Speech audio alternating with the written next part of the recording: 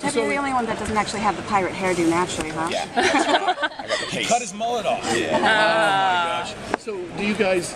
What have you learned from the culture in, in doing in making this? I'm kind of getting my psychological and uh, sociological profile here from all of you in terms of what you've assimilated.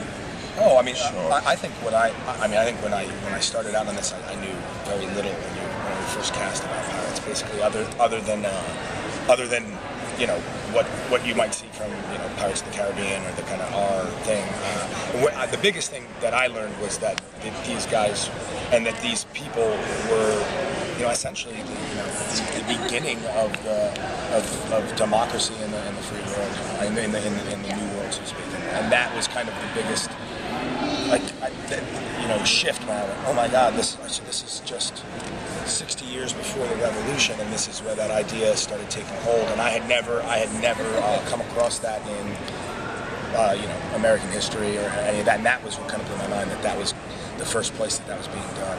And for yourself, Yeah. yeah, in a similar way that there's there was a tension, there's a great tension in this new society where there's kind of rules being shattered and a bit more equality of the sexes and a kind of a burgeoning democracy and maybe not so many more not so many politicians, but at the same time you've got to have rules and otherwise it's just chaos. And there's a real great plot tension between that. I think a really neat little example of it is that all these great criminals and cowboys and rock stars walking around on this island, yet they're all still dressed in frock coats and corsets, and it's the tropical heat.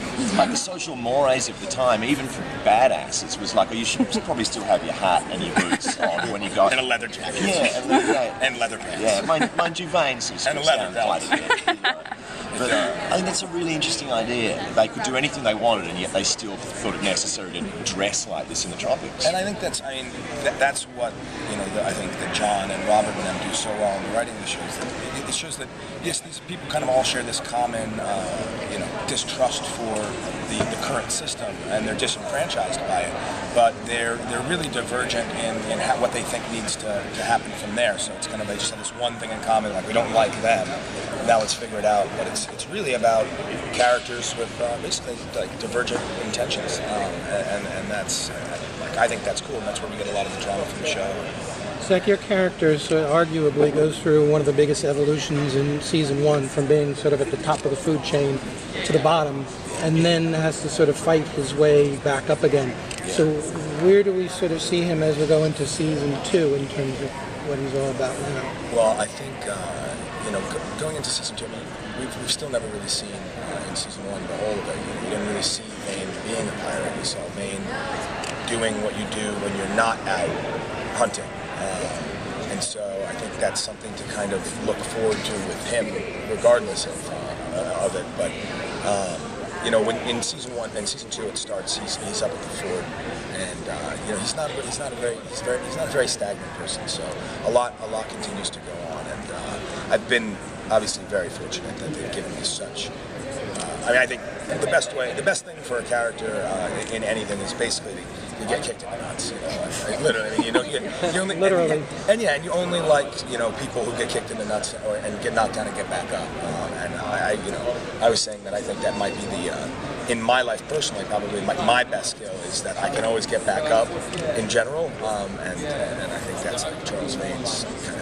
It gives you something to come back Yeah, from in an arc, exactly, right? Yeah. Exactly. interesting thing as well is that the like these pirate captains when they were on land their kind of job was over they were on r&r so in season one we see a captain kind of going well i can't wait to be back at sea and then he loses his ship and like it's you know he's not he's not happy being landlocked even that lovely image of of Vane, I think, right at the end of the first season when he's up in the fort but staring out at sea, and you know he's not going to be happy. So he's a pirate captain again on a ship. Yeah, because what what good is? I mean, that, that's one of the things we, we, we joke about all the time. It's like, what good is being called a pirate captain? if you don't have a pirate ship, right? Because because these things aren't. It's not. It's not like a title. Even though you you know if you're once a captain, you're always you know, captain or something. Um, it's you know I always say you know like you know Vane hasn't been a captain. I haven't seen him in a captain ship yet. So uh, it's it's really you know it's interesting and nice. So can you talk about the evolution of your characters and your the evolution of you and your characters and relate both of you in relation to the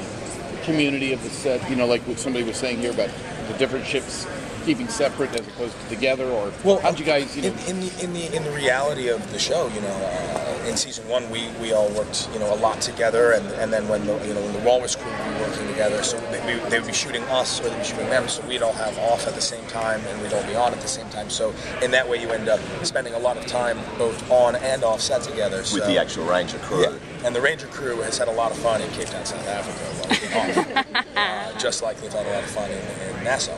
Yeah. Tell us those stories. Let's get to the You real but stuff. Where did you- It's, it's actually that thing where like art imitates, re, you know, uh, reality, and a lot of times where you know you're down there because you want to be making the show.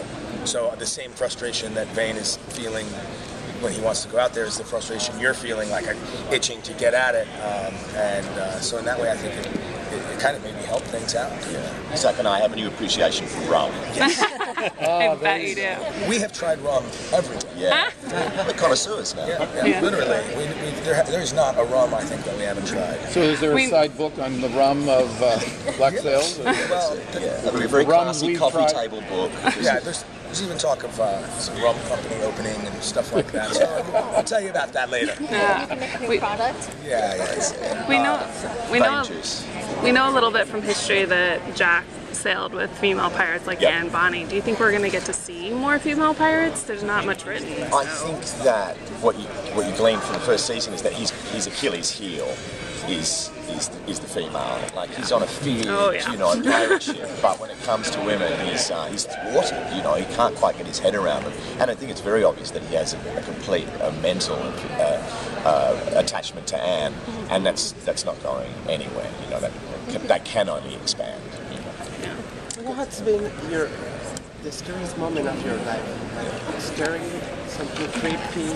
About a creepy moment in my life. real life. Aside from that, Besides sitting here with us, right? Right, yeah. Well, Go on, you've got some. what are you talking about? I've never been scared in my life. Yes. yes. I live in constant fear. Thank you guys so much. Thanks. Wait, can I get a picture of the two of us?